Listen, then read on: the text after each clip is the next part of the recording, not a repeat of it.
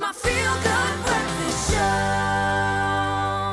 show. Welcome back. You're still tuned into your Feel Good Breakfast Show Expresso right here on SABC3. Time for us to catch up with our international entertainment news. And joining us this morning is our brand new Mrs. South Africa, Hlengiwe Twala. So it's great having you here this morning. Thank you for having me. So. Well, we are in great company because we are talking about powerful women this morning making a change for the greater good in the world. And Hollywood is not short of a list of women, uh, women doing just that, which is why events like the Glamour Women of the Year Awards takes place to reward women for their hard work, for their dedication, and just all round for being amazing as they are. Now, while Hollywood stars often get in uh, the right or, or get in right with their music and their movies and their careers, they sometimes do the complete opposite when it comes to the red carpet. So here's our best and worst looks of the year for the glitzy evening of the Glamour Women of the Year Award. So making our best dressed, hands down, has to be Gwen Stefani, who has come a long way from her Ain't No Holla Back Girl days and her punk rock days, and she's become really the epitome of elegance in this two-tone yet sexy gown. Isn't that incredible? I think that's that's a good choice. For I her. know. Is that like skin in the middle, or is that still part of the dress? Do you think? I I can't think tell. that's skin. Do you think that's mm-hmm. skin? I think that's mm. skin. All right. And While love that metallics may be an mm. outgoing trend, Chanel Iman certainly pulled off this look that not only showed off her awesome figure, oh. but also matched her skin tone perfectly.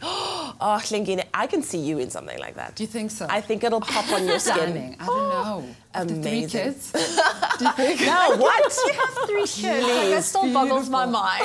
Where did they come from? My word. And last but not least, we have Freida Pinto, who actually has us surprised in how this look actually works. I mean, it has lace, it's got sequins, it's got tulle, but she looks absolutely amazing. She pulls it off. She, really, really does. I'm, I'm a fan of simplistic. I know. Although that's not simplistic. That's but not, it's but it looks simplistic on her. it looks simplistic. Well, not looking so amazing, unfortunately. Kat Graham, ay, ay, ay, what were you thinking? I mean, this whole oversized outfit just makes her look like the Tin Man from The Wizard of Oz. Definitely not good. Perhaps she uh, should have taken some tips from Chanel on how to pull off the metallic trend. Also missing the mark completely is Amber Heard. Ay, ay, ay, ay, ay. Um, we know that she went through a recent divorce with Johnny Depp, but uh, just because you are married to an older man doesn't mean you need to start dressing like a granny. I'm just saying. Uh, this look definitely belongs um, on the t- on the table where other where the other doilies are. And then not uh, last but not least, we've got Ashley Graham. Now um, I don't know, we're all about celebrating curves and flaunting them, but um, yeah, you also just need to do so appropriately as Yeah, well. I love Ashley Graham, but I don't know what she was thinking with that particular outfit choice. Yeah. Yeah, well, that's what our international stars get up to, and we still have our local star. I'm talking about Mrs. South Africa 2017. She's been with us the entire morning, and of course, we spoke about Hlengiwe's year of, well, at least from the winning moment and going to the Mrs. World pageant. But of course, now we want to get to know you when you're not wearing the sash, when you're not wearing the crown. What do you love to do with your family? Well, personally, I love to read. Okay. Yeah, I read a lot. Um, so I read to my kids as well. You know, I find that when you read, then you get to, your mind gets to go to places and imagine and it opens them up. But as a family, we go out. We go out to movies, uh, we have fun together, we take long walks. We live in a beautiful place where that we're able to, you know, take long walks and just enjoy the fresh air. Yeah. So that's what we do. We enjoy being, you know, with each other. Yeah, I Yeah. love that. Well, talking about being with each other, I know that uh, your responsibilities are going to increase. I'm sure there'll be lots of traveling as the new Mrs. South Africa. How are you going to juggle being Mrs. South Africa 2017 and still being a mom and a wife and everything that goes with that? Like I think I, I mentioned earlier, I think having you know a supportive husband, Yeah. you know having a supportive family, that's really just going to work in my favor. And also, um, my kids are much older, Yeah. you know, and um, I live in a community where other moms, you know, have put up their hands and said, you know what, Hlengiwe, whatever that you need, because they are so proud.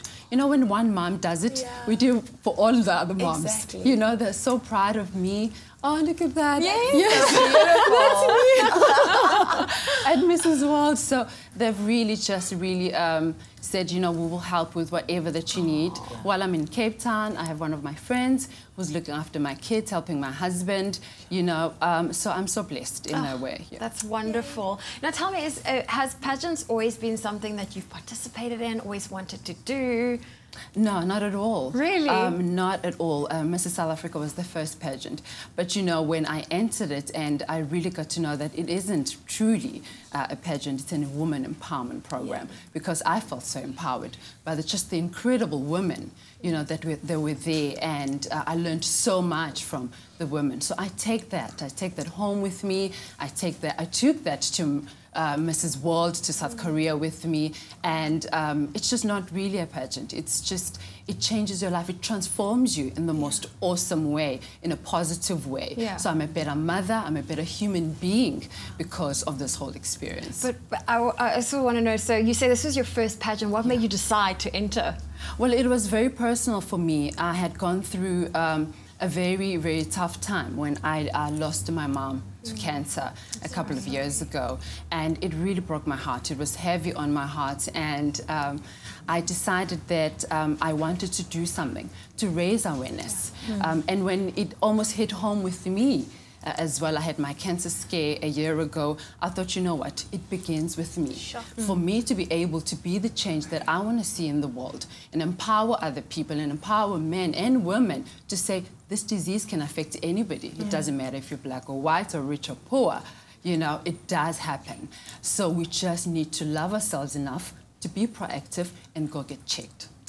Yeah. Yeah. Well, I love that you certainly are one of the most inspirational people that I've Thank met. And you. you've used such a very, you know, trying time in your life to bring about so much positive change. So thank you so much for that, Hlengiwe. Thank and you, congratulations on being our Mrs. South Africa 2017. I'm excited. wow, it is so wonderful having our Mrs. South Africa 2017 in studio. And of course, we wish her all of the best for everything uh, that is to come. The best is yet to come. Well, let's find out what is yet to come on your Feel Good Breakfast Show.